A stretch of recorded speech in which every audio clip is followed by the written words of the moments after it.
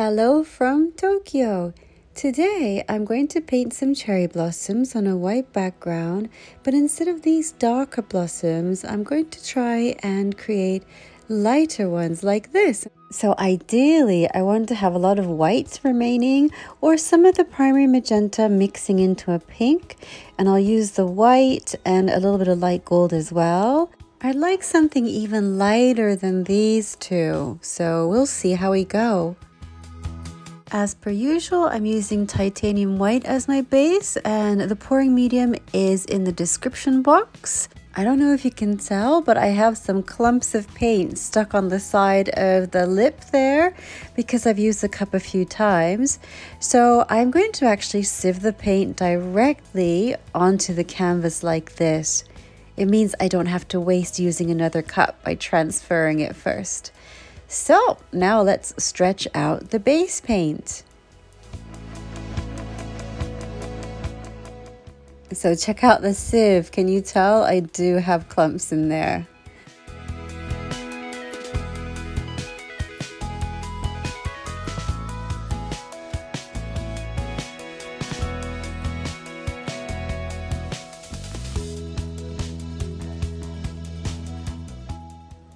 Now one thing I forgot to do today was to torch out any air bubbles. So don't forget to do that.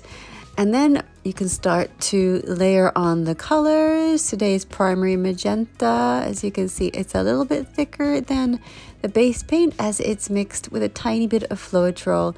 The recipe is in the description box. So today's exercise really is seeing how I can achieve a lighter color blossom by mixing the white and primary magenta by blowing them rather than mixing them into a pink first manually. Um, so we'll see how that goes. The temptation here is to add more primary magenta if it starts to look a little bit too light, but that kind of wrecks it because really you want more white. So that's the tricky part, I think, for today. Okay, I'm gonna come back to talk to you again once I start balloon smashing. However, today I'll be fluctuating from smashing to adding more paint um, because I'm just experimenting with trying to get this light blossom. So, anyhow, I'll speak to you again in a bit. I hope you enjoy the painting today.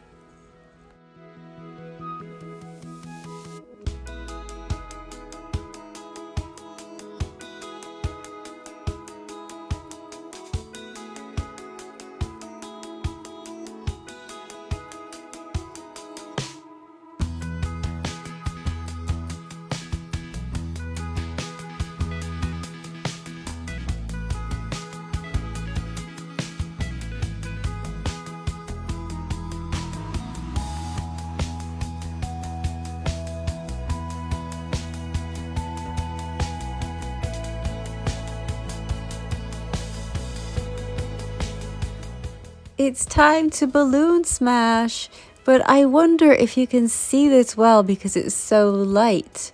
Well, I think you can see okay. but if you can't, you'll be able to see more once we get to the close-up for sure. I'm actually thinking it's already a bit too dark, to be honest. I feel it needs a lot more white. I'm going to add some more colors, uh, more of the primary magenta, and at some point I will start adding the light gold as well for just a little bit of a contrast.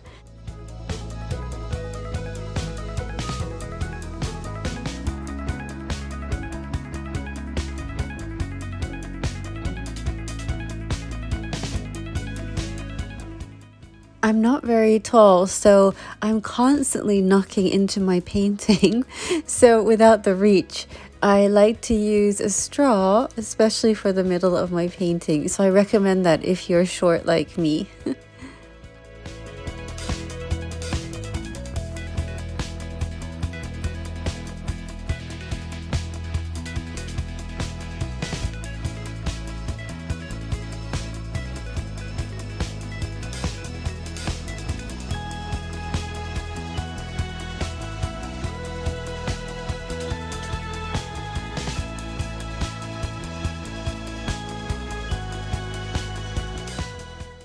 I'm going to add some gold now to some spots just to add a little bit of interest.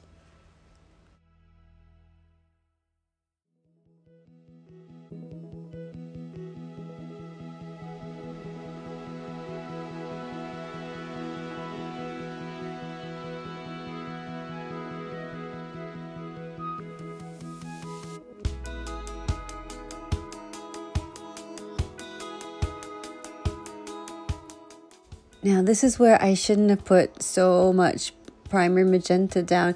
Even if I blow on top of it, there's still some showing and I think that it was too dark, that section just there.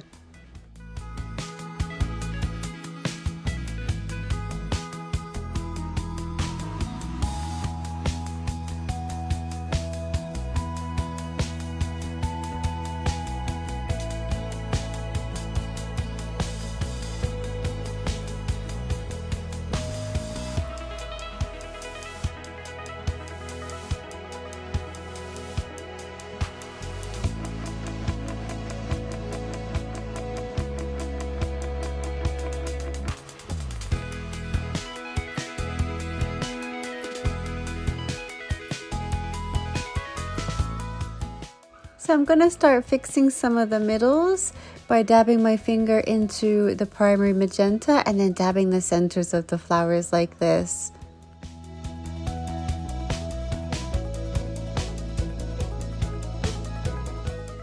I feel like something's missing just there, so I'm going to do another flower, lay down some more paints. And in fact, this flower I think ended up being my favorite.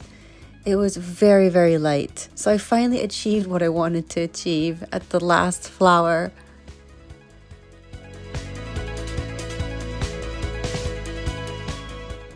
I wasn't so sure about that section there, so I dabbed it off with some uh, paper towels and added some more titanium white.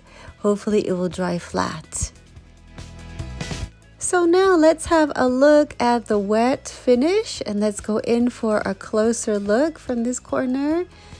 As you can see this side, I think I have too much primary magenta there, but this, this one here is the last one that I did and that really achieved what I wanted.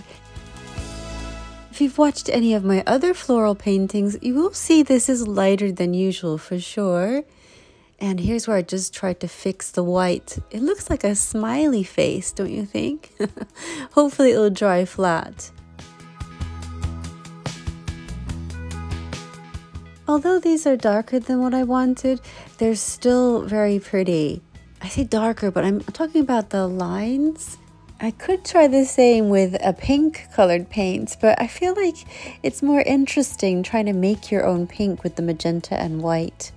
Oh, here, this is where I popped the air bubbles a bit late. So um, hopefully that will, won't affect the whole painting. Let's now see how the painting dried. I'm going to start from this top left hand corner here where I thought it was going to be too dark and it is too dark for what I wanted to do today. And so the one next to it though this one with the white, pink, and gold, it's perfect. I love the outline and the shape, and the gold is looking embossed, which is cool. The one next to it I also like, apart from it's a bit dark there again. Yeah, this bit here. Usually I love that, but it's not what I wanted today, that's all. You know, it's still great, it's still pretty, but I was trying to do very, very light flowers, which is quite tricky. But aren't they beautiful as they are anyway?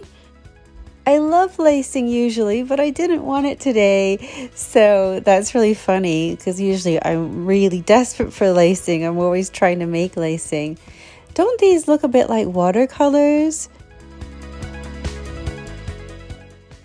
So you know what? I am going to do a part two with this painting. I'm going to add more to it because there are bits I don't like with the dark. There's too much dark with the light and there's bits that look a little bit messy. So I'm going to do something else. I have, um, see those sort of parts there? I want to kind of put something else on top and I have a lot of white left. So there will be a part two and I hope to see you in that one. So thank you so much for watching. I hope you enjoyed the video today and see you next time. Bye.